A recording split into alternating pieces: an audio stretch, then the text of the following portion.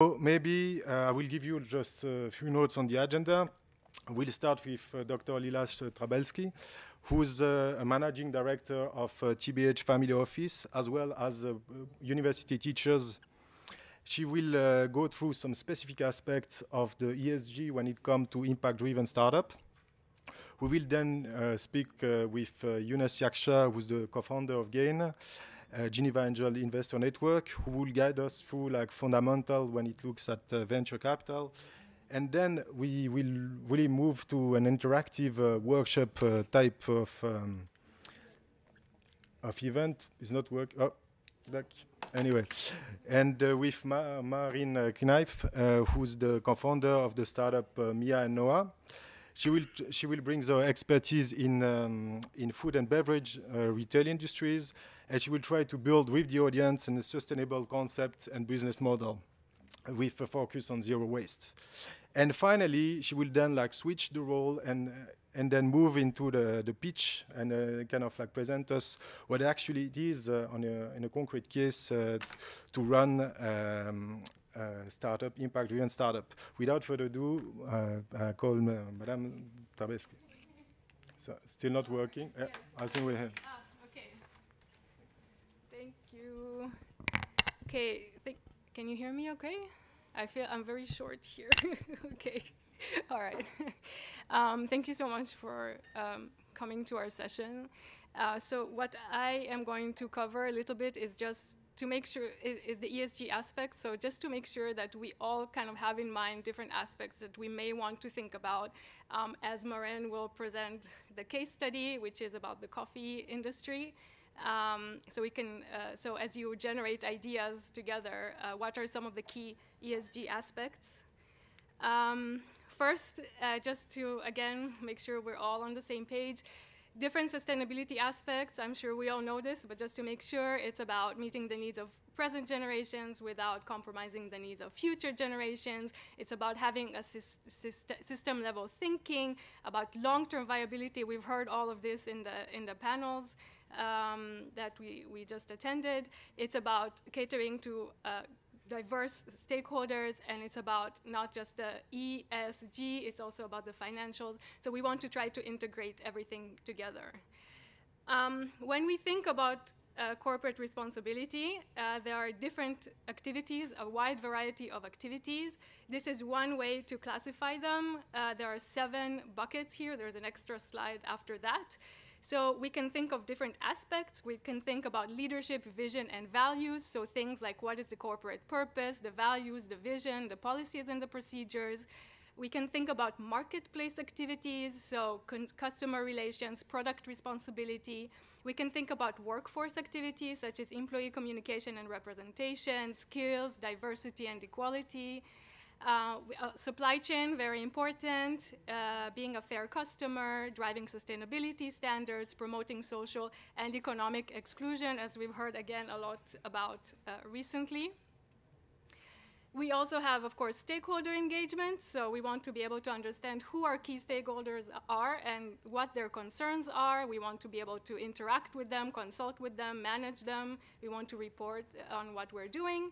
Um, community activities, that's more on the philanthropic side, so donations, volunteering, uh, being a good neighbor, and of course the environment, how do we use our resources, our energies, pollution and waste management, environmental product responsibility, and transportation. So this goes for any kind of business. These are different things that we can think about. But then, of course, every business and every industry has its own uh, issues that are more or less material. So what we want to do is we want to be able to prioritize the, the issues that are more material for our case. Um, so for that, we want to look at the firm's business, what can impact the firm's business success, and what matters to our stakeholders. So two key questions we may want to keep in mind when we think about a business and whether it's, uh, uh it's sustainable or not is does a particular ESG issue impact our business significantly in terms of growth, cost, or risk? Uh, or will it affect it in the future, right? We still want to maintain this long term view. And at the same time, is this issue important to our stakeholders? That can be any stakeholders. It can be our investors, but society in general, governments, customers, suppliers, employees, any types of stakeholders. We have heard about SASB also again. Uh, so just to clarify, uh, SASB puts has put together different um, uh, standards and different and, and has, is, is highlighting different issues for different industries. So here you can see under the environmental dimension, they have six uh, possible uh, issue categories.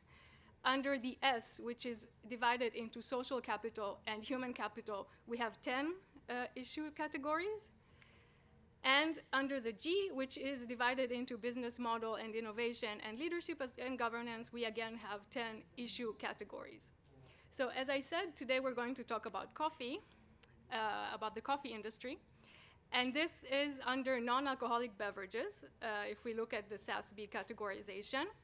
And here we can see that out of a possible 26 issues that could be relevant, we have eight that are highlighted by SASB. We have uh, greenhouse gas emissions, we have energy management, water and wastewater management, so that's under the E. Under the S, we have customer welfare, selling practices and product labeling, and under the G, which is uh, the part of the business model and innovation, we have product design and lifecycle management, supply chain management, as well as material sourcing and efficiency. So again, to help us think a little bit more about these issues, uh, just briefly, what, what are we talking about here? Fleet fuel management, that's about the generation of scope one emissions from uh, transportation and manufacturing facilities. Energy management, that's about energy used to operate manufacturing facilities, distribution centers, and warehouses. Water management, well, we know that companies, especially in the agriculture sector, uses, use a lot of water in their operations. Um, health and nutrition, so when we think about, again, any, any kind of food of be or beverage related um, company, uh, we want to know nutritional and health concerns. We want to look at that. We want to, to make sure that we have a healthy product. Then we have product labeling and marketing. Uh, so how are we communicating about our product to others? How accurate we are? How in depth are we going about what is actually in our product? Um, and packaging lifecycle management. So uh, packaging materials is a significant cost, and also a lot of material can go into that. Um, and finally, environmental and social impacts of the supply chain. So in agriculture, we, have, we tend to have very uh, complex supply chains, and it's the same. Uh, it's it's the case with coffee as well. So there are global supply chains to manage. How do we screen, monitor, engage with suppliers on in, on the E and the S? Um, and ingredient sourcing, so the ability to source ingredients at a certain price point that can be also quite tricky depending on the supply availability. So to give a brief overview of what the coffee supply chain might look like, and the expert here is Maren, so I will hand it over to her, uh, uh, well, we will hand it over to her uh, shortly. Um, so we see it's quite a complex one, although this is a simplified version. We have very different actors here. We have producers, we have cooperatives, we have different intermediaries, we have exporters, importers, roasters, retailers, and finally us consumers. Um, and apparently there are 70 coffee beans in every single uh, coffee cup that we drink. So just to get the thinking started uh, on, on my end, and then uh, we leave it uh, on, uh, we give we hand it over to you. Um, what kind of ESG areas could we think about for the coffee industry? So of course, climate change, we don't even know, will we be able to grow enough coffee, where will it be grown, etc. Water pollution, water availability also, um, the supply chain, the complexity, the length of the supply chain, all the different actors that are part of it, uh, currently, there are unfair trade practices going on, unethical labor practices, uh, and in this case, in this kind of industry, harvesting is a very labor-intensive uh, process. Um, there are some poor human rights conditions happening, low living standards. The incomes are quite low. Um, there's also fraud on the governance side. And when we think more about us as final consumers, so we have uh, coffee consumption forms. Are we using capsules? Are we using uh, single-use plastics? etc. So this is what I wanted uh, to, to just get you thinking about. Um, and then uh, Younes will now cover the economics and the financials uh, of what we might want to think about when we look at a business. Thank you, Lila. Hi, good afternoon, everyone. So my name is Younes Yaksha. I'm the co-founder of uh, Gain, as, as uh, Maurice mentioned. And I'm uh, here today to give you the fundamentals of um, impact investing in early stage uh, startups. So the first thing that we uh, search or what we need to understand when we invest in startups, do you have an idea of what is it? The first thing that we need to check, the first, uh, the team, it's one of the, the, the, the, the most important thing. Any other idea? Purpose, yeah, for the impact, uh, impact aspect, what uh, Lila covered yeah, it goes with the purpose as well. It goes with the team.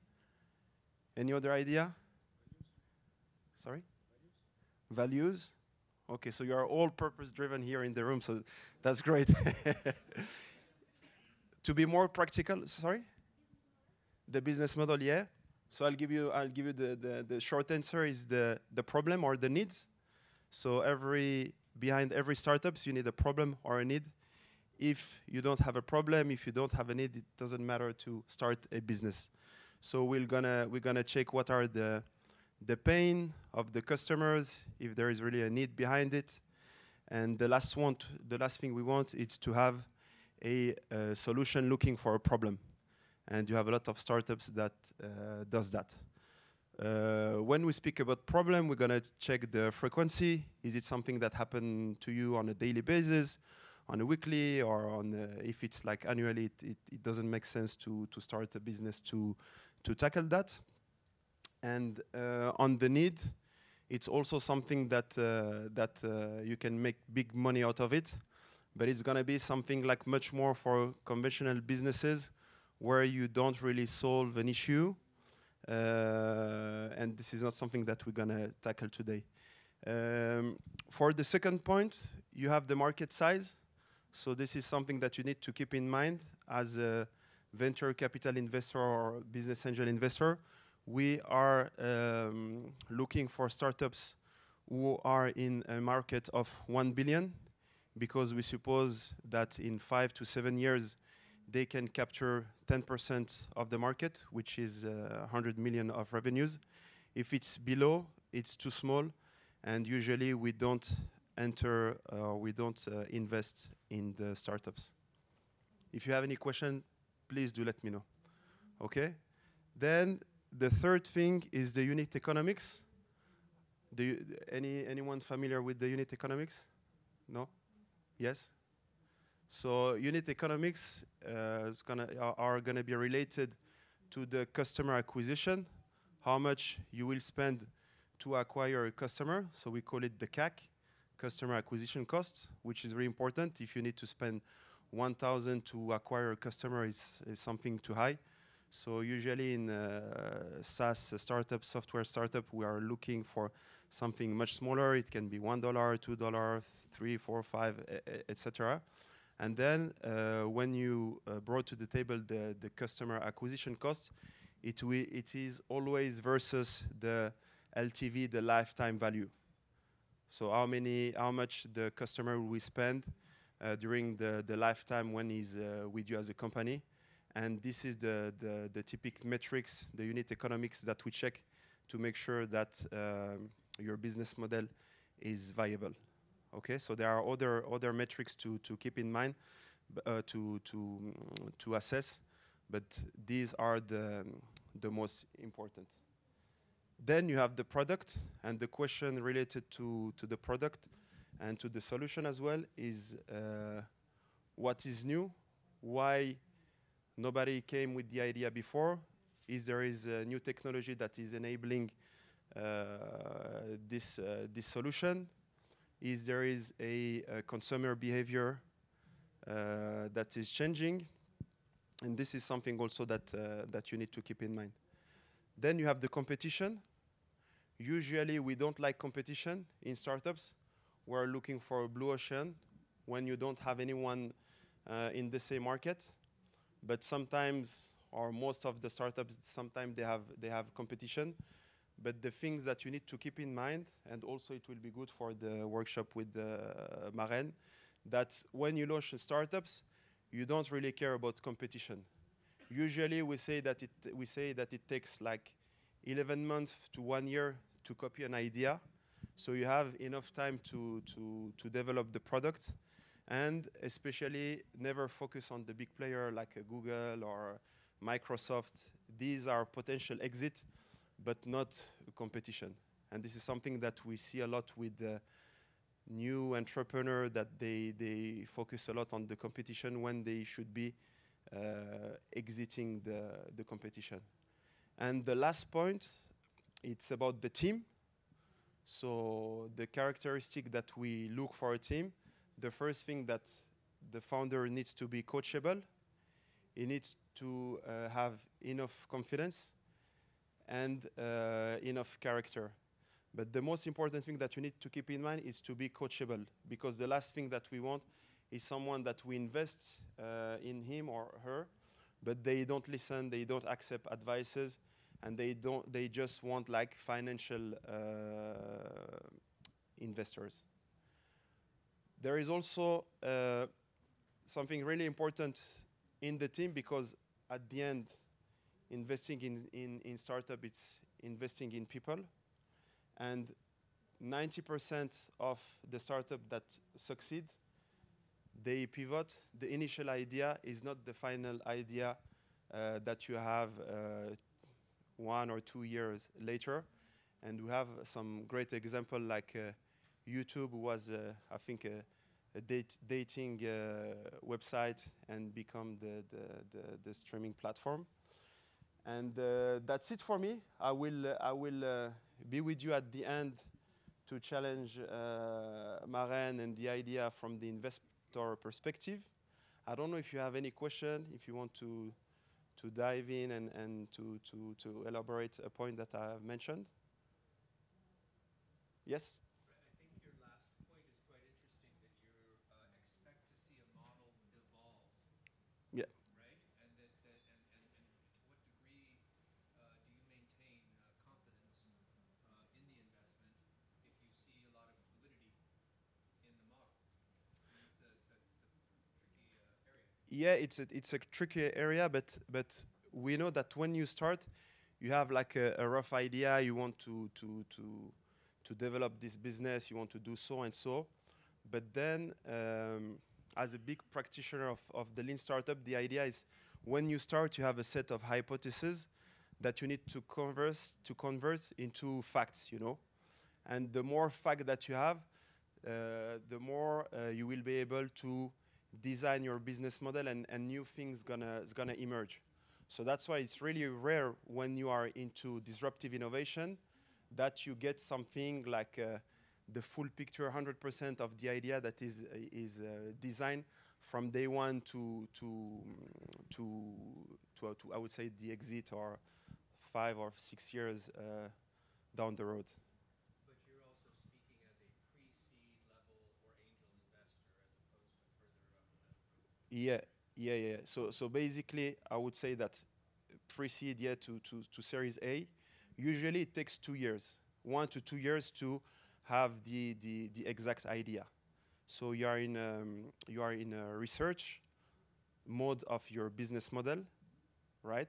And then when you are in Series B, C, D, E, F, G, you are executing the idea. You are executing this business model.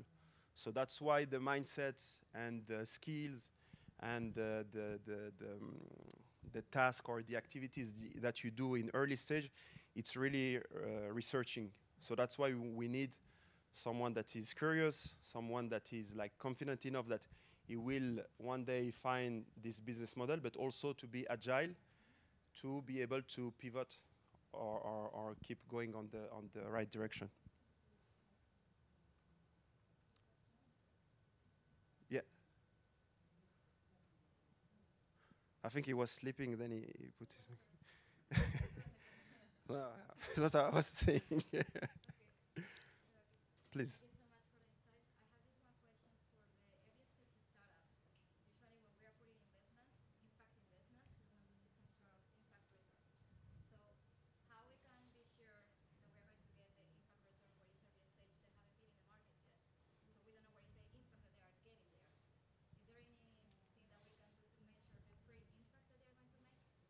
for the insight. I have just one question for the early stage Uh, yeah, that, that's a very good question. I think the answer, the answer globally is like this: we don't know, but what we want is really the the, the G from the ESG about the. Someone was mentioning the values and, and, and the purpose, who is behind the idea, and then it's also, I would say, uh, to keep an agile mind, you know. So, so, so for me, when I, I, I, I see uh, impact startups, I also put, uh, for example, Zoom. It is not labeled as an impact startups, but the commute that is at, it has saved us during the COVID, the flight, the, carbon footprint. So it's one of the example of the of the impact. So I I really think that we need to reformulate what is impact, and we'll discuss it later on. And uh, at an early stage, it's really difficult because you might say, okay, this is too engineered. They only have like uh, the the the, um, the they only have like a software, and they are not um, wasting uh, water or electricity and blah blah blah. So I think it's really it's it's tough to measure, and I, I don't know. Uh, Lila, if you want to, to save me from the crowd. But this is something really difficult to, to, to measure, to be honest. And, and I know that there are some people that are working on um, designing some fra- framework, but for an early business, it's really about the, I would say, the heart and the, and the, the values that the individual has. Of course. It's micro too. Yeah. Um, if I can add something to that, I think it's about um, business planning that an impact entrepreneurship needs to also have um, impact KPIs. And we can project and uh, model and do hypothesis around financial uh, KPIs. So we need, need to, as impact startups, also include impact KPIs. And you can scale them and you can make hypotheses and say, if I'm scaling, this is what my impact is going to be in five years. And I show you uh, an example later on and how we're doing that. Thanks, Mary.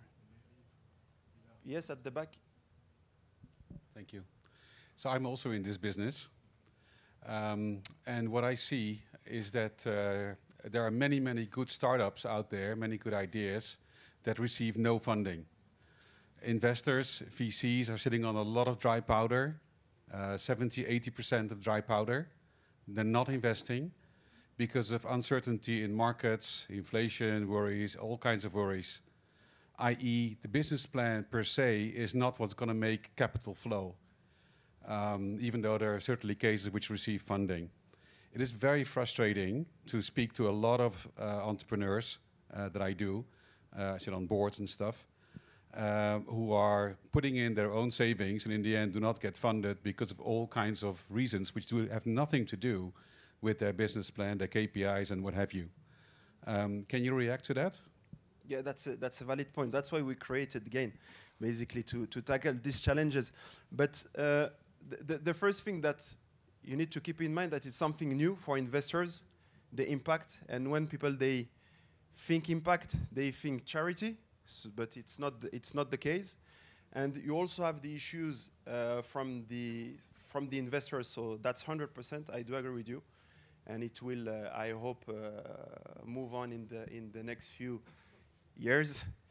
Uh, but also from the, the entrepreneur aspect, you have some impact entrepreneur. They uh, forget the profit from the triple P, right? So they have the purpose. Uh, what is the second one? Purpose, planet, and uh, and, and, and people, but, but not the profit. And when you start a business, it needs to be like uh, viable, economically viable. And we also have like a lot of, uh, of entrepreneurs, they come with uh, non-profit organizations, so even you cannot own uh, shares, and they are willing to do good for the planet and the, the, the society, but they forget that at the end you are pitching investors, so you can do good by getting financing, financing, but you need also to, to be looking at the, the, um, the, the, the, the economic and financial aspect also, which as I mentioned for Zoom or for other like uh, impact-driven startups, you can make much more profit now uh, than before with an impact-driven uh, business.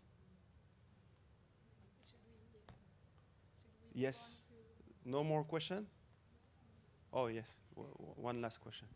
Hi, sorry, I it's a just good session, right? arrived, so I don't know if this was maybe tackled or not, but I just wanted to comment on something this gentleman just said because um, I, I work with both sides, the investors and the impact space or impact opportunities, and I see this so often that. Um, you know, as you said, great opportunities are out there, great startups. So often the investors say that it's just too early stage. And I think this is so a pity because it's exactly there where they need it. And I feel that sometimes investors should just put their foot down and just say, there is an urgency out there. We really need to move on. And as you say, there's so much money out there. So I just wanted to comment. And if you, if any of you have anything to comment on that, I would love to hear because how can we move this forward? Um, you know, as you say, there's so much happening in the markets um, and, and other reasons why not to invest. But the fact that it's too early stage and let's wait until they get to the next milestone, etc.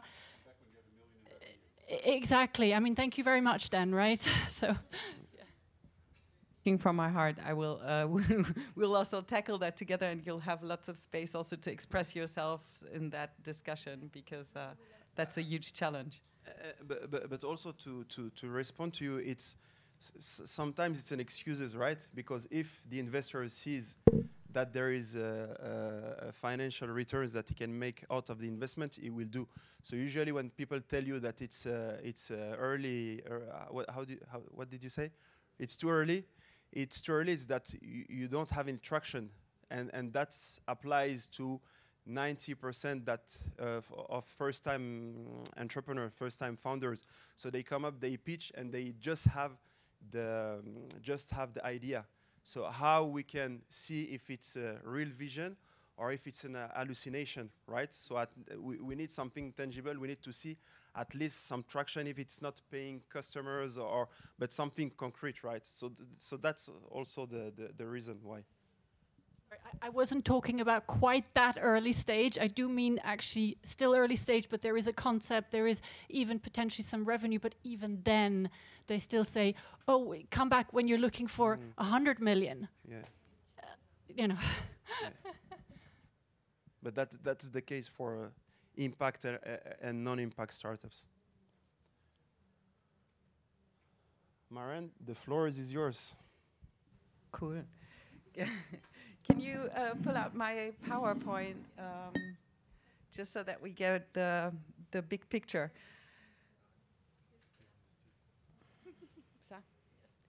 Um, we're going to have an interactive session. We thought it would be fun to have you participate, and it's uh, great to see that you are extremely participative group and that you have things to uh, to express around the subject. Um, I was asked by um, by the three of them to present know, as a case study of exactly what you're discussing right now. Um, how can you align impact with financial viability? Um, and what does a business model, successful business model, should look like that responds to all this criteria?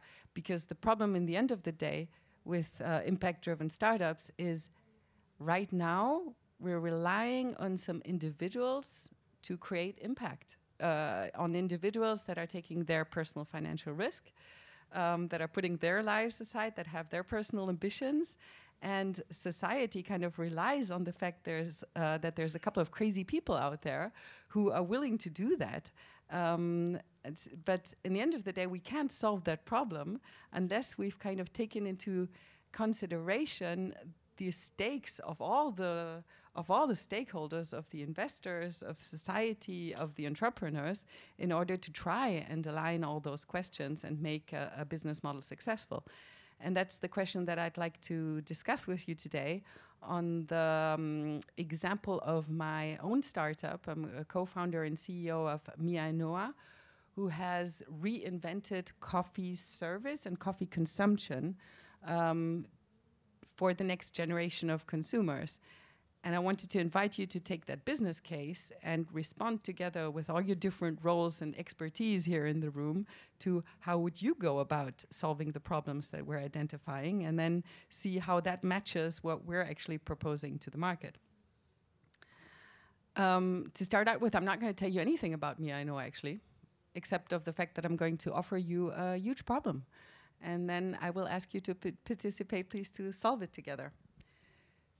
And I think we'll quite easily agree on, on one of the overlying problems. We are creating 150 million tons of single use waste every year. The tendency is still increasing, despite of what you might think here in northern Western Europe, that we're all taking care of our uh, responsibility and consuming differently on a daily basis.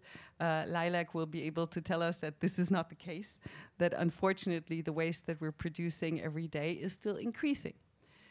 Um, who drinks coffee in this room? Excellent.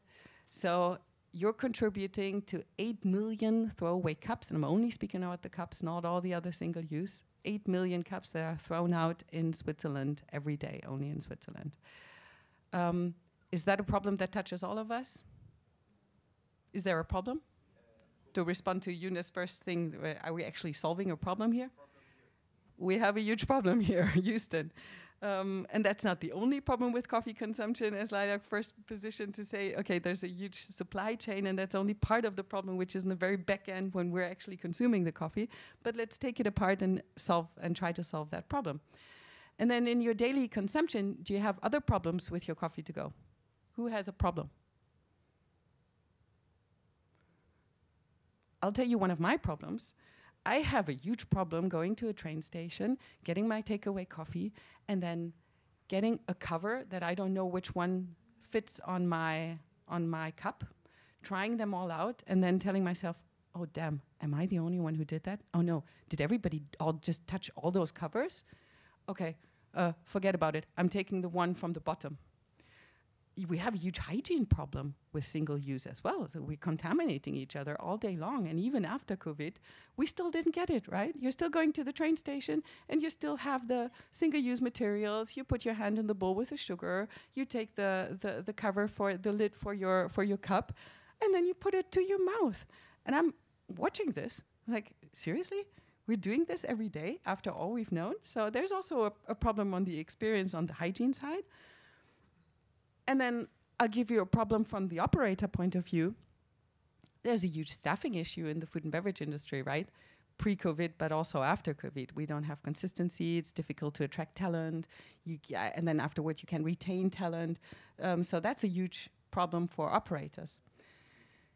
And now, when you're looking at the set of problems that I, I, I gave you and the overlying problem of, of being single use, let's try to solve this, but in a way that will attract investors because I don't want to stay in my basement with my solution, right? I want to offer that to the large public. And if I can't sell a viable business case to Younes, then I'm not going to get the funding to make the world change. And whose problem is that? It's my personal problem as an entrepreneur, actually. So making this work helps all of us, but first of all, helps um, an innovative idea um, to, to, to exist simply. So I'm inviting you to fill out the um, business model canvas with me. How would you design a product that solves the problem that I just gave you, but that also is appealing for the different stakeholders that we need to make it happen? Who has an idea of the value proposition? Is first have a coffee. That's always a good start. Who has an idea on the value proposition? What do, what do we need to do?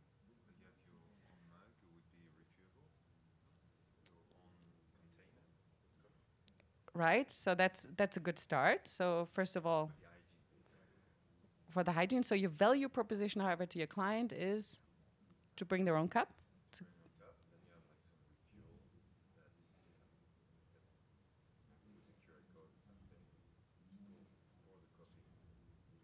Okay, I'm, I'm still missing the value part in your proposition. So I'm asking you to do something now as my client, but I don't have a proposition to you first. Hmm. Any other ideas?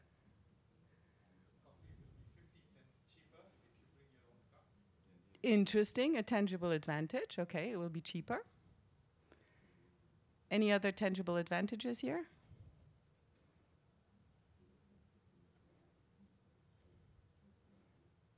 Okay, so I guess you need an entrepreneur for the creativity part. Um, when selling reusable cups, excellent idea. Value proposition, having a reusable cup. Sell the coffee in the cup. Okay, why not?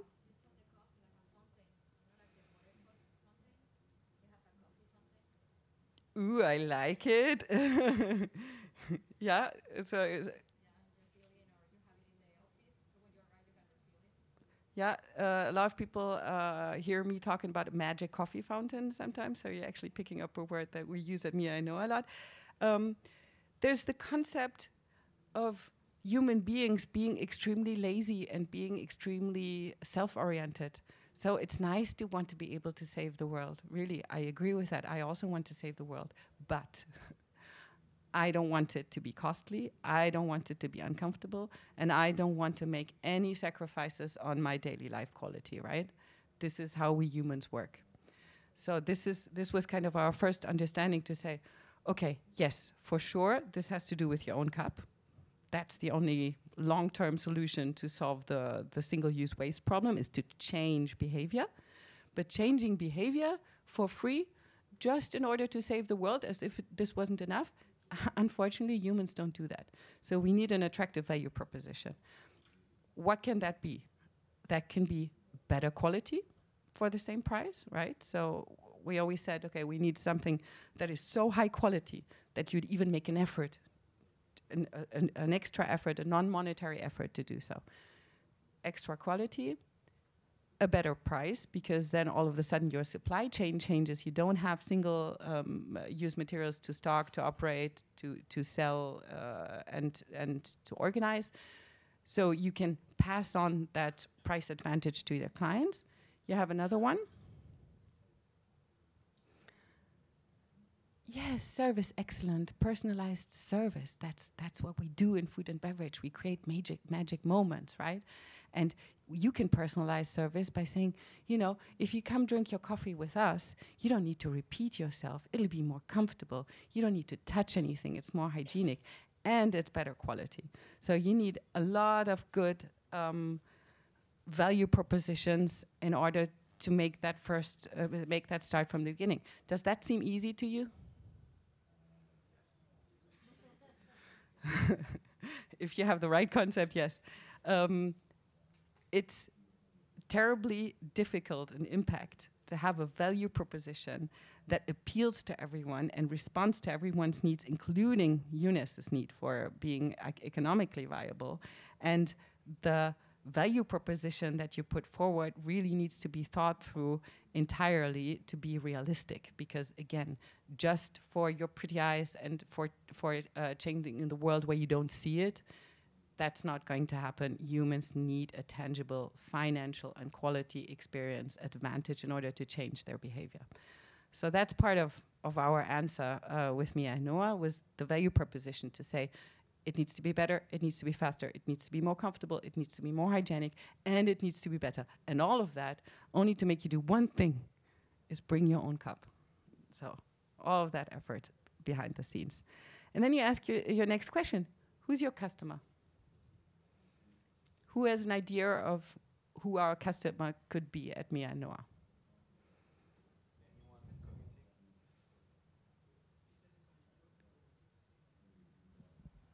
Uh, could be like individual individuals or uh, other businesses that need uh, to provide coffee. That's exactly the question. Who's your customer? Is it the operator or is it you who are drinking coffees every day? So us drinking coffee every day as well. Is it? Or would I like the operator to adopt the system to spread out more quickly? Yeah. I think both are right. However, for the purpose of this exercise, let's stay with the B2C. Why stay with the B2C? Because investors are humans. And Younes wants to first buy the concept and first understand, yeah, I would drink that coffee.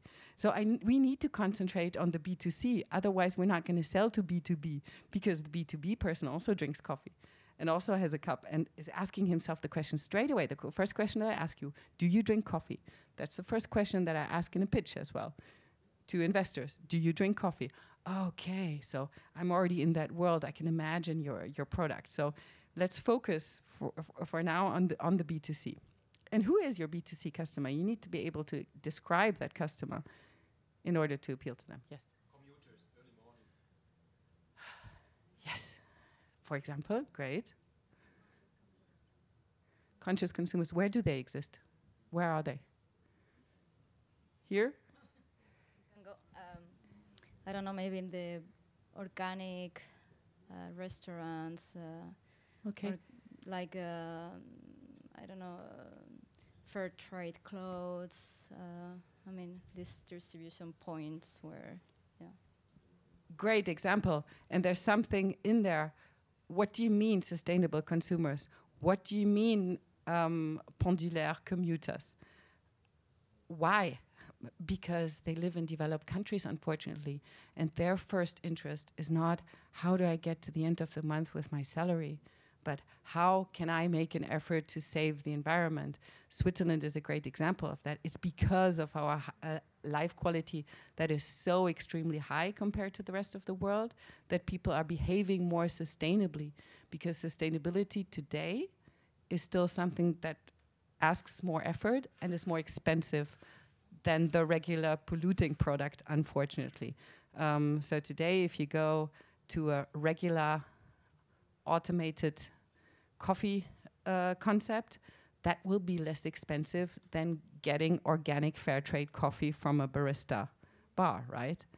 And that's a problem in impact. And as long as impact or as long as responsibility is more expensive than being irresponsible, that's a huge problem. And that makes it much more interesting for impact driven startups to be here in northern western europe to start out with because this is where our consumers already have that mindset and don't have to worry about even bigger issues like healthcare like security right so when you're thinking about your customer and then Younes made a great opening because he said you need to be agile you need to be able to change you need to be able to change your minds um, when we started out with me, I know I'll, I'll, I'll tell you the story. I made it for a commuter. It was a product that we designed for a commuter because I was a commuting executive mom.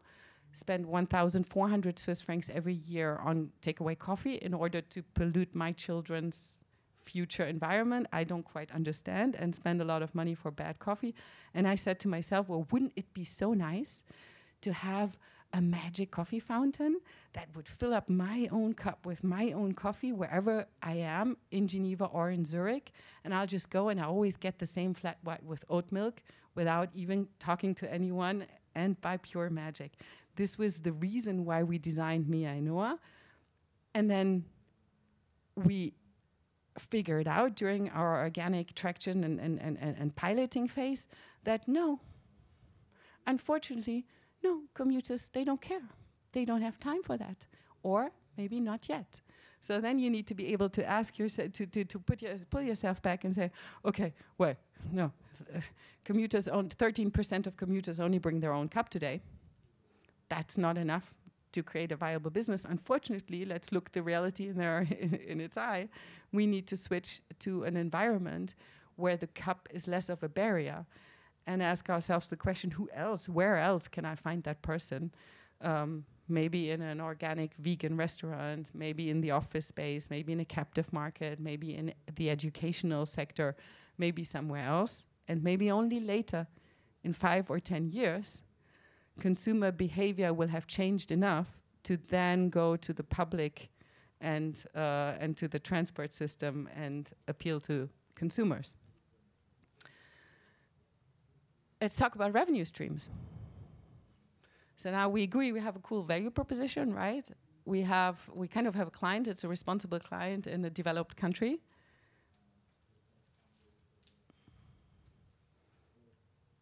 How do we create revenue streams?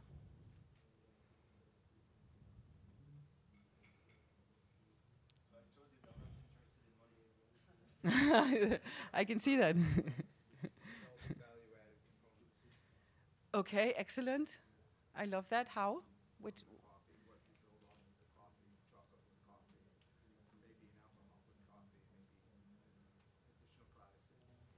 additional products that revolve around the core product. Yes. creating value-added components that add into that, bringing in pastries, bringing in cheeses, adding other things to the, the mix. Okay, why not? Um, and then you can do pastry and cheeses. You can do software as well. You can be creative on on the different streams that you're. But who's paying you? The consumers. I mean, you're, you're drawing, a, you're, you're now attracting a larger customer base from that because somebody's uh, core product may be different than what your core product is. So you're creating value-added components to bring into the product base. Okay, interesting. Any other ideas around here?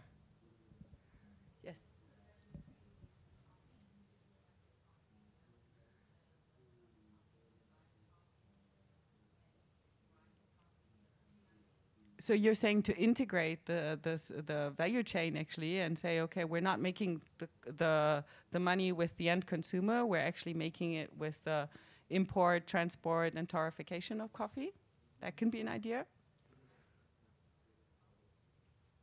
Thank you very much, by the way, because you're kind of solving my business case for free. But okay, any other idea?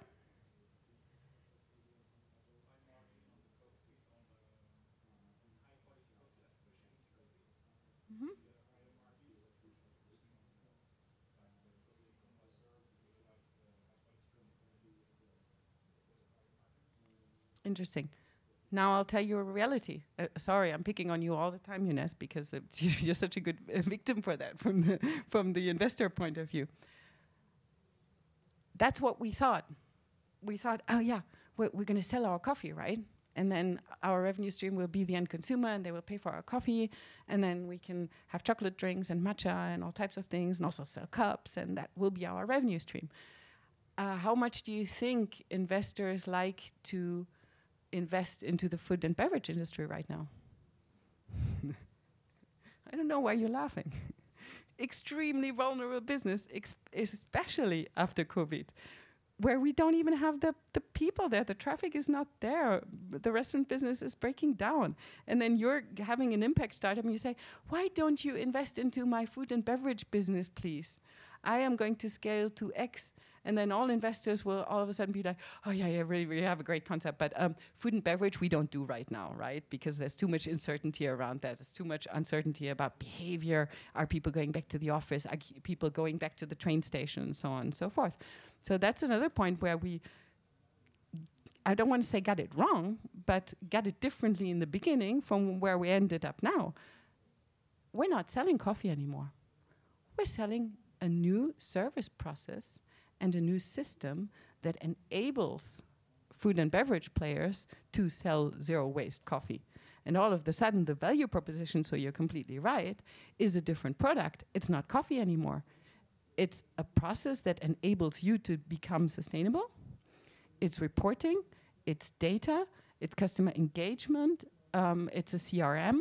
It's everything that create that we created that we thought was a secondary product, but it's not. It's the product that we're going to scale and that we're going to live from, because if you want to scale, if you want to sell that concept successfully to an investor, well, you need to assure them that it's economically viable. And if you don't find investments, you're not going to be able to do that. So that's another part where the initial idea and then the response later on uh, really differ from each other. I don't know where I am in timing. It's okay. Huh?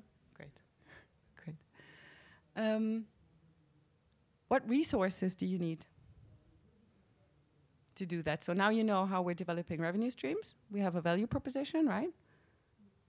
We've solved the problem. We've solved the problem. We have a customer segment. So what do we need?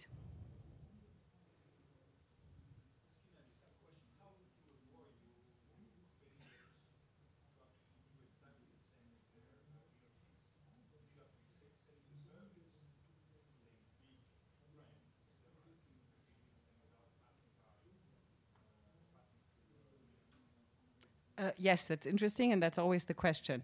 Um, in the introduction, Younes already said when you're an entrepreneur and you're setting out something, you don't look so much on the on the big guys. Why? Because they're an exit strategy for you.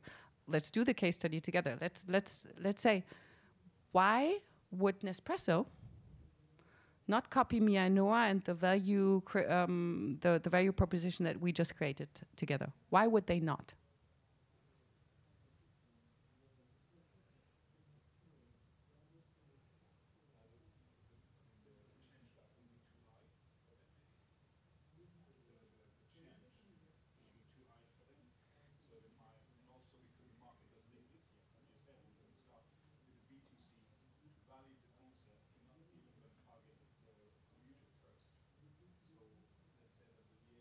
Behavior has not been changed yet, so that's why maybe they will be reluctant to, to do it for the moment because the behavior is not is not here yet. So uh, You're kind of creating not only a service but kind of creating a, a new behavior for customers.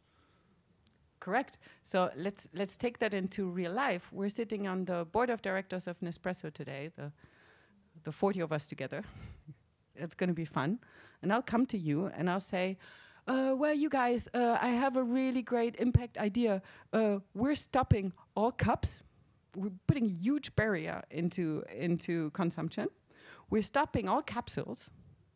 And we're also stopping all the flavor stuff, all the flavors that we're selling for 40 years now, and we have that huge customer database. We're going to stop that all. Who raises their hand to give a go to that project? Oh, nobody. oh, how surprising. You have only stuff to lose when you're a big player. Right? So doing that, being disruptive, big players don't do that. That's what wh- what they do is five, ten years later, when all the entrepreneurs are burned out and, and poor from investing their own money, then they'll choose the idea, then they'll buy it and have it in parallel. But they're not going to disrupt because they only have stuff to lose when they disrupt. If you're Nespresso and you have high revenues, anybody from Nespresso here, by the way? If, if, uh, millions of revenues, why would you decide from one day to the other to cut them to a fraction by completely changing your business model? So that's one of the things, not all of the things, that's one of the things that protect us. Yes. Yeah, I just wanted to challenge you, saying Yes. that yes, they do disrupt. Philip Morris is a good example. It's not ba- maybe the best one, but they disrupted their own selves with their IQOS. And just at the moment when the traditional smoking was still as popular as ever. Yes, maybe that's that's a good example. A lot of big players have venture arms, do research and development, and do invest because they know that the consumer is moving and that tendencies are moving. Um, have they completely developed that in-house, or was the idea maybe picked up from a, a disruptor, a startup, and then integrated and bought? I don't know that, but I believe you. Uh, and it's true that it does happen, and it's true that most of the big players in food in the food and beverage uh, industry do have a, a, an impact arm or a venture arm that is looking for that type of thing. But what they do is they they look at the market and they look they look at what's happening, but they usually don't produce that in house. I have another reason why there is a barrier for the big players to do that type of thing. So you're sitting with Nespresso, right? You're in all the countries in the world. You're selling millions and, and billions of, of, of coffees, single-use coffees to the world. And now here in Switzerland, you're, you're sitting in VW and we're deciding on the new product now. Um, okay, let's do this. How is it going to be, it be designed? What is it going to look like? Who decides? It takes ages for big players to take disruptive decisions because they need to please everyone because they have an existing business. And that's a huge barrier. All of a sudden, you can't be like uh, uh, two co-founders in a tiny startup in, in Geneva say, "Oh, I like that color. Why don't we do that?" "Oh no, we do only zero contact. We don't take uh, uh, cash money." Uh, which blend do we take? Oh, why don't we just have a focus group uh, vote on it? If you're Nespresso, you can't do that because you need to satisfy the Italian market, like the Brazilian market, like the UK market, like the Swiss market, and then decision making um, is so difficult and takes so long that in the end of the day, a couple of crazy people with startup ideas are quicker than you, even if you have all the money and all the expertise in the world. And that's just a reality. Yes. I think the previous I think I think the previous comment was relevant.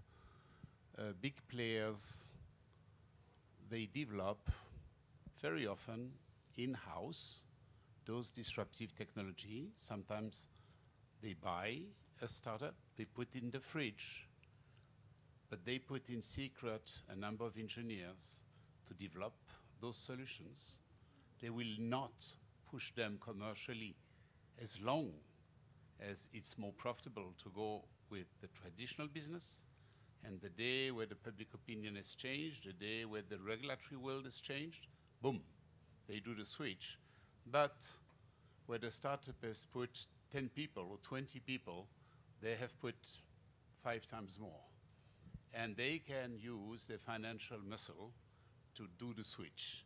So it's very dangerous, I think, for the startups. We have to always keep in mind those guys who don't show it, do it below the radar, but be ready for the day where it's not possible to stay with the traditional business. I agree with you. I completely agree with you. And that does mean you should completely close your eyes on competition. I'm just answering to the to the to the question, why don't they? Because they have the means as you're saying. And just the way to go about it is very different and takes longer as you're saying and takes a lot more money um, as you're saying. But will they eventually catch up? Are you protected from competition anywhere? I don't think so. But So. but also because there there is the the risk factor. When you launch startups, I mean, you bear all the risks, and one large corporate, I mean, they concentrate on the on the core businesses. R- why?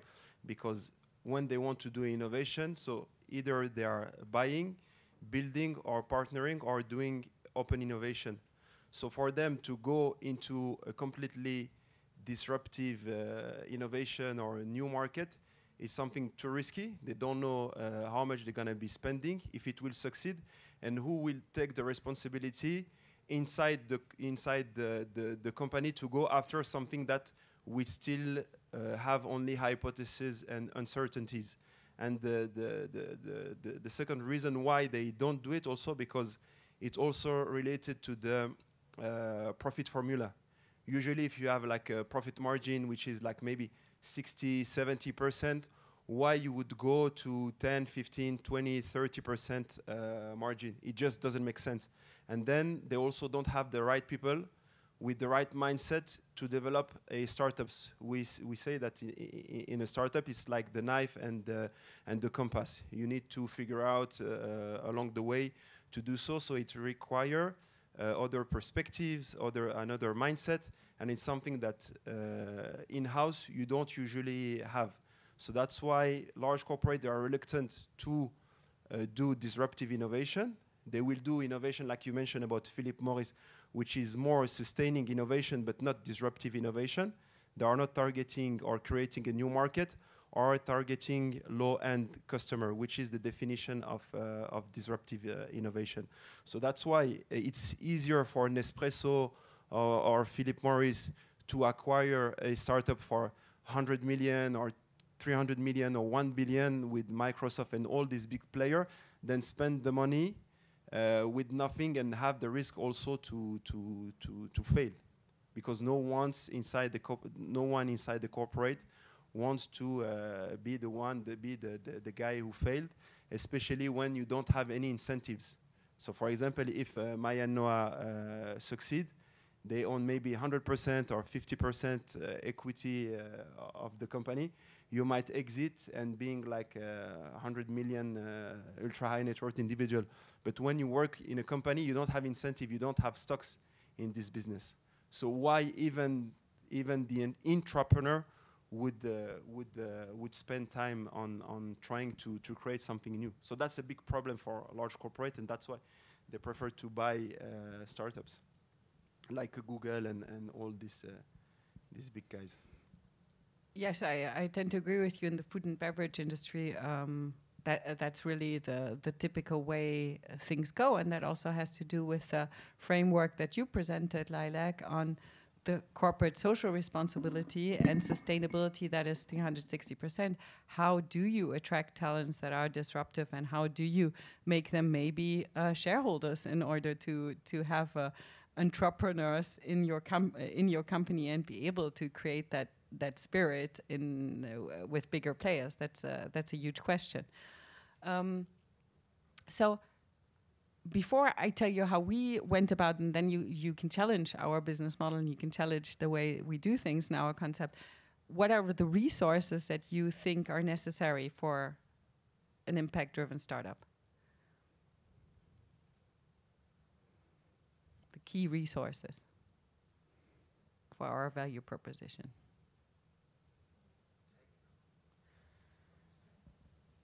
I agree with you, yes. Okay, excellent. But, but, but tech first, I mean, to develop all Yeah. these uh, tools that you're referring to in terms of your um, reporting, assessing, Yep. and also CRM, and and then and then comes next is like a good way to communicate about it, right? I mean, but Okay, so you're saying we need sales and marketing, Yeah. and we need uh, a solid tech resource. Any other ideas?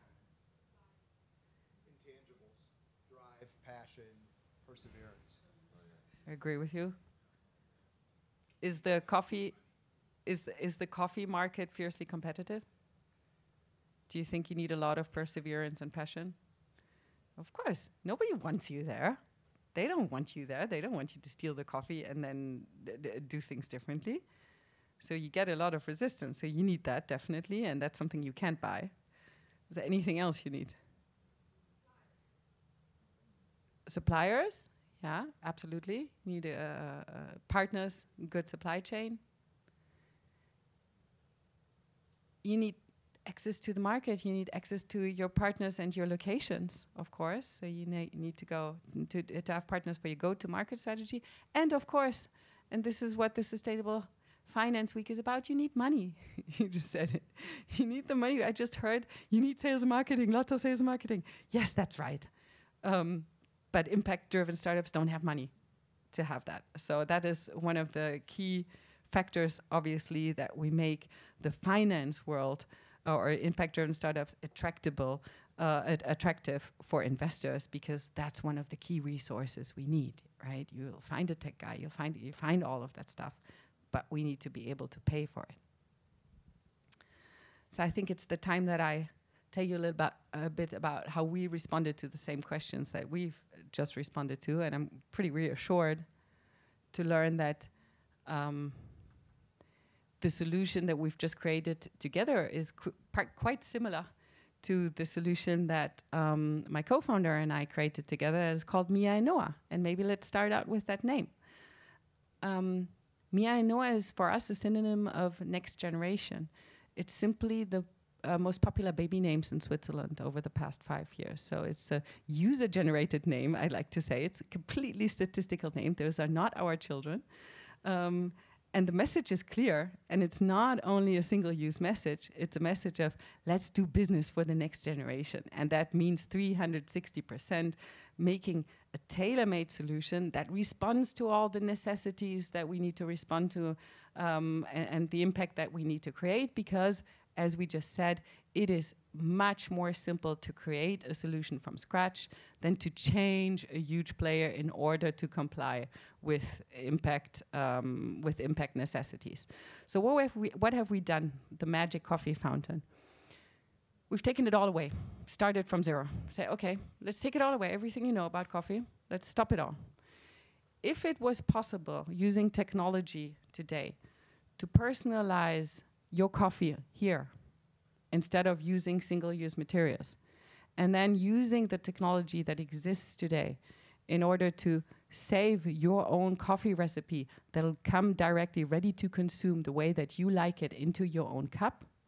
Wouldn't that be a cool thing? And for that, wouldn't I bring my own cup if I would really get my favorite coffee every time and without touching any single use? So that was basically what we did. So we digitalized your personalization process that you know, as in taking off lid, putting in sugar, stirring, then going away, having contaminated yourself and having uh, polluted everything. And we said, okay, let's use technology for good, let's do that. And then let's give you the opportunity to save those settings, to save those settings and say, that's my favorite coffee. I always want that. I have a routine. I can e either generate that once, I can save it to my profile, or I can print it on my cup. So then it's making it even more comfortable and easy to be sustainable because I don't need anything but my cup to consume.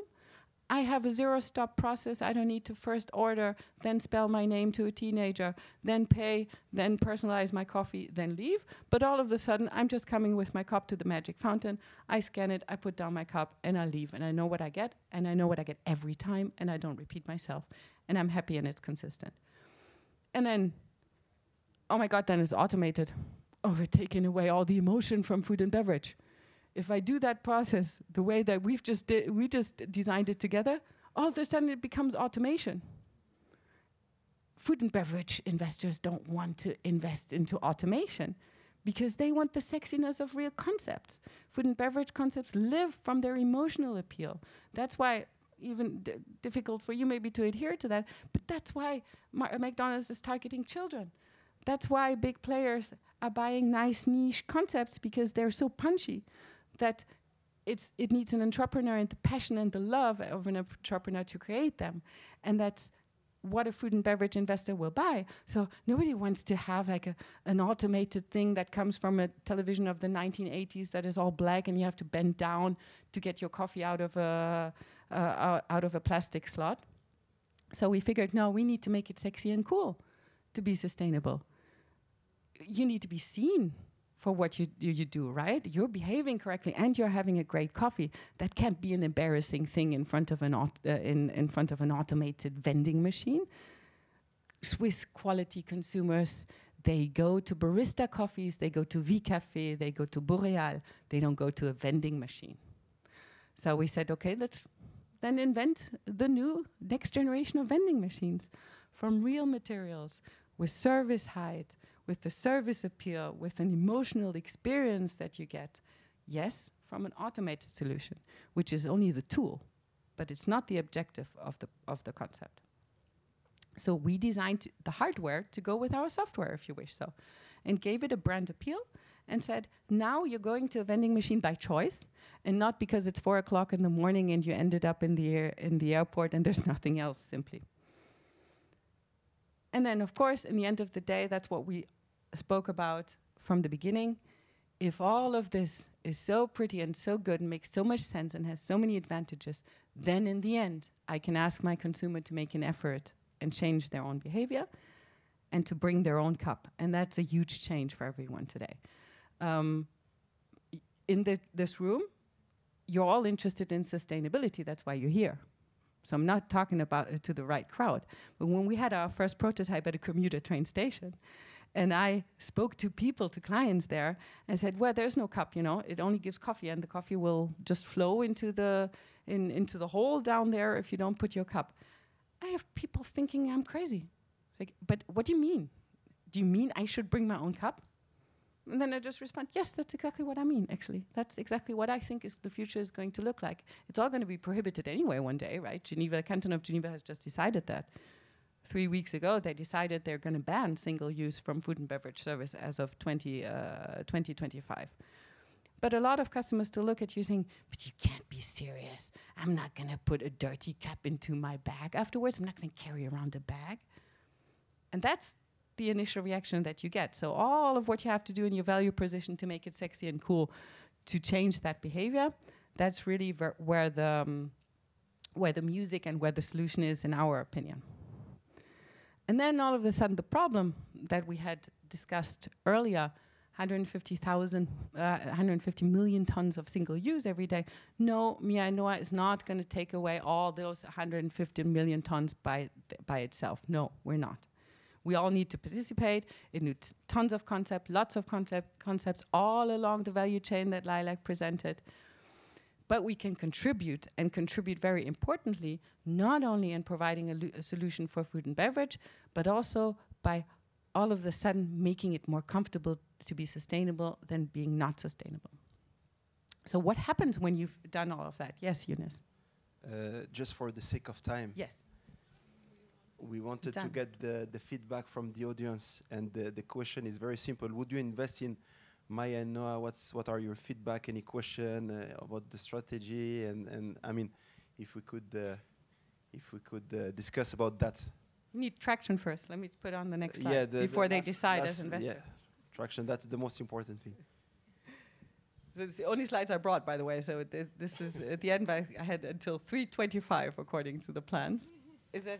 Am, am I running over? we just want to get the Okay. So all of a sudden, if you've solved that, you have your favorite coffee in your favorite cup. No waste, not all the stuff. You haven't spoken to anyone before getting your first uh, espresso in the morning.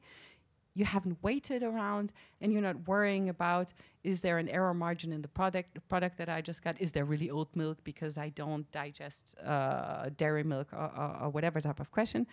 And on the operator side, all of a sudden your solution, you have all data. All of a sudden, you know who consumed your coffee and when and how. You can speak to those people. You can engage with them. That's something that you can't do in the former world of uh, regular coffee bars.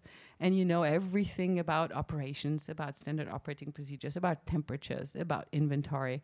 You have it all. You have full power and control about what you're selling and how you're selling it. And this is what we need so that you can answer Younes, uh, Younes's uh, question.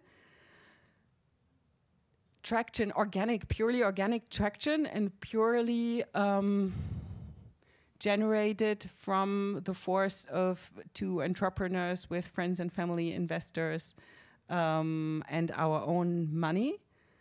And that's how far we got organically without um, taking, getting uh, institutional investors on board.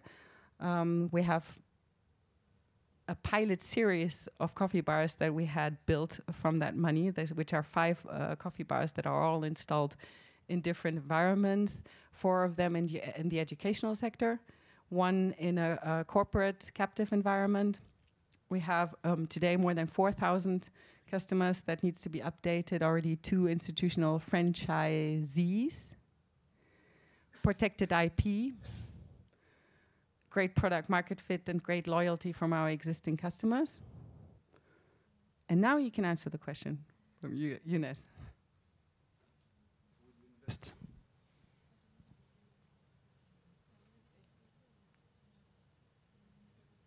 Yes, please, please. Just wait for the, the mic, please. Maybe just some thoughts. I think for me, coffee is a bit tricky because it's about experience. It's about social experience. Maybe it's not about drinking per se, but it's having a discussion, having being able. Because I guess people go to Starbucks not to drink coffee, maybe, but just to sit down to enjoy. So here, the question is sustainability is important, but social factor also should be there, I guess, because coffee is a bit different from any other. It's not the water, I guess. It's not the mm. same that you drink because you're thirsty mo most of the time. So I guess it's a bit, yeah. For me, some maybe questions should be also addressed. And vending machine maybe for me doesn't necessarily solve this type of social maybe uh, aspect. Doesn't reflect it.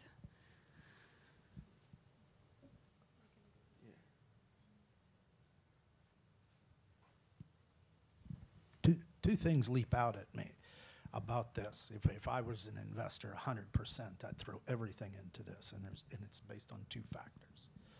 The first is that you're appealing externally in a niche market by taking the two names of the most popular names given to children in Switzerland and naming that after your firm. You, you bought emotionally into the future in large scale. Because if that's, because everybody who named their kid one of those two names is already pre bought in some fashion.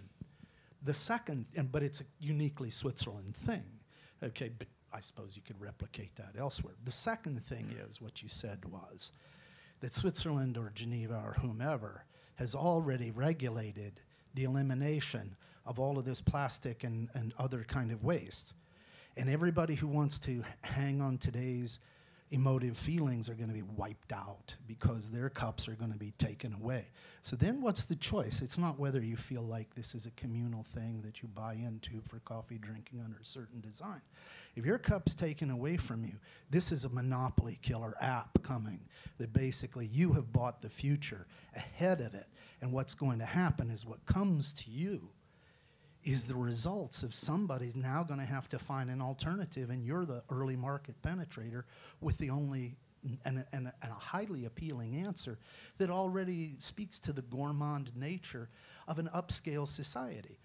this isn't a universal solution in every place, but, but, but you know, sustainable development is local as well as global. And, and you, all your matrix line up, basically laying out all of the sustainability goals. But from the standpoint of pure profit, oh my God, yeah, 100%. That's my answer. Cool, thank you. Yeah. Yeah.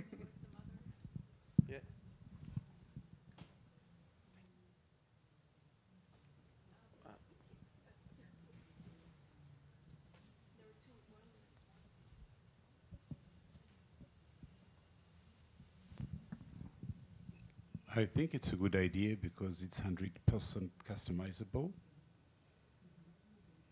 It also addresses some of the feeling issues.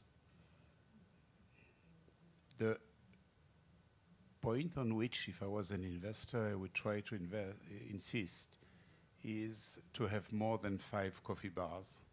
So there is an element of capex, it's the machine, and it's the location of those Correct. machines.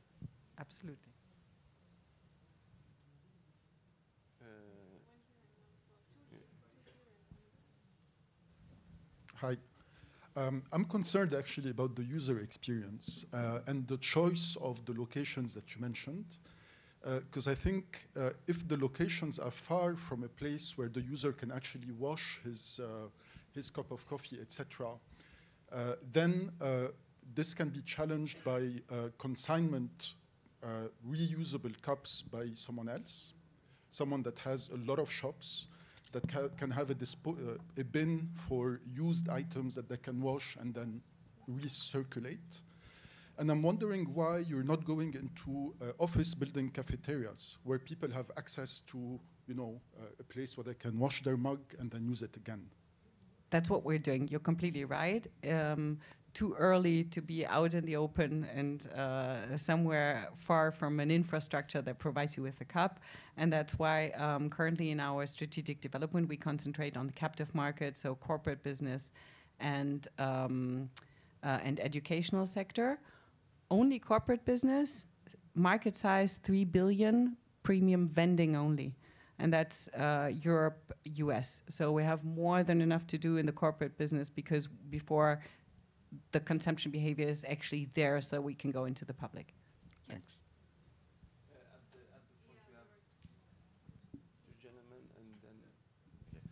No, thank you very much for this presentation. So, um, just uh, three comments. The, so the first one, what I really like in your presentation is the turning point. You know how you turn it from, uh, yeah, okay, there is no traffic in like train station, things like that. So we we, we build that, um, and maybe it's what the gentleman was was about to say. I see this business model quite replicable to some other content than coffee. You know, I mean, you, you could very much like go in a grocery shop and just get your best cereal, you can get your best shampoo, and you bring like your own container and you just like fill it up, right? Um, so that's that's one comment. Uh, the second comment, because the question would was like, would you invest into it? I mean, okay, it's, it's tricky. I would definitely use it, um, and uh, and would be interested to consider further to invest into it. Um, but for that, I would need more data, and also here, if I may say, but we have that many time, uh, you do not emphasize, you know, all the, the data you get out of all this like consumer experience. And by the way, um, I've got really like loads of ideas that you know you can build up in some like uh, very empty zone um, of like coffee shop where you can say, oh, by the way, you can tag the local community who come every time and just say, we can fix a, a meeting point and then it could be even like cross-generational and, and this and that. So anyway, that's one idea. But my last and and main point as far as I'm concerned is what you put like in this little black box where you put like tons of waste eliminated, liters of milk saved. Um, so not sure about this one, but tons of like CO2 reduced. What do you do about that? So are you still looking for some like funding, and do you monetize that? Okay, in a good way, of course, because that, for me, you know, is worth a lot and has to be part of the monetization. And that's what I do with my my business model. We can talk later, but um, but but that is definitely something very interesting because that's the other thing. You know, when you came with your business case at the beginning, it sounds like "Wow, we can't solve that, and yes, you did. So very well done to you. I mean, but but that has a very good impact, and if you monetize it in a good way, you know, it's like also to give you some further funding to develop, like in other con- content like shampoo and things like that. I think. Absolutely agree with all of the above. Yeah. So you do monetize the black box, right? Uh, We don't yet. You're, you're t- speaking about an early stage uh, startup that has their first organic traction. Um, but do we have ideas and how f- also how to use data, how to use our IT, and so on and so forth differently? Absolutely. Okay. Thank you.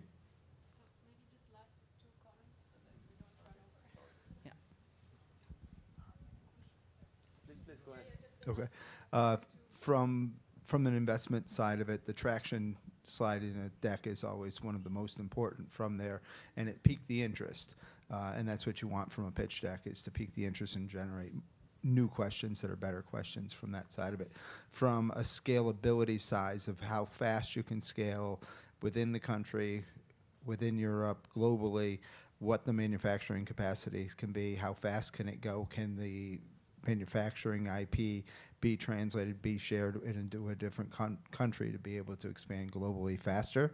Uh, there are some of the questions from that side of it, what that cost of production would be and the capex would be in different markets from there. And if those are answered question, not just invest, I'd be interested in franchises in some countries. Okay, that's a cool comment. Thank you. Um, interesting, and also that is uh, a response that you need in the business model. The capex, somebody else already mentioned it. Yes, there is a capex component. Nobody likes capex components, and over the the business model that is based on a system rent, then you can you you have solutions for that, um, and that's also a response to you. What do we do? How do we develop going on from here? Franchise, but also white labeling, saying, you know, let's give that solution to others and maybe they'll use it differently. Maybe they'll use it for shampoo. Absolutely. And what Younes said, obviously, about what's the most important, um, to have a really sticky, strong, close team. We're a family business. Um, we're cousins, simply. My cousin is the one who's um, responsible for admin analytics IT, and I'm the one who has um, created the concept, and I'm really all about the food and beverage experience and about the love uh, in it. And in the end of the day, what I'm interested in is that you love the coffee that you have in your own cup. And as a combination, um, that is the team you need and also the, the, the liaison that you need um, in order to be successful together. The, the last question, maybe if, uh, if it's a question.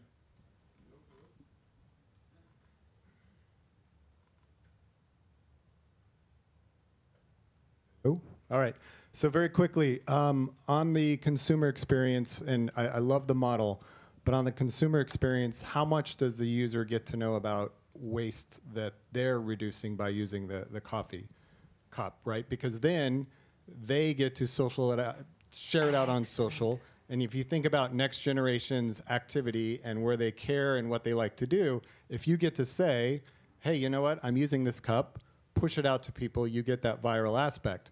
I love the model, but if you're not capturing that data, not only for yourself as an organization, which you obviously are, but allowing the consumer to participate in that impact, the sky's the moon. Like the next generations care way more about than my generation and older. Correct. Um, that's why you have a live tracker, impact tracker about your community and yourself on our app. Um, so you can see how many kilograms of say you've saved. You can say share that, and our operations partners they get uh, an impact reduction statistic from us um, that they can also share with their workforce uh, uh, and with their students, for example. Absolutely. Perfect. Thank you very much. I'm sorry we're running late, but uh, I mean, it's still the beginning, of the week, so there's still time for questions. We're going to stay in the lobby, and uh, Maren uh, is going to be here for you for further more question and for new investment uh, ID. So I wanted to thank you, Building Bridges, for the organization and for inviting us. A special thanks to TBH Family Office and uh, Geneva Angel Investor Network.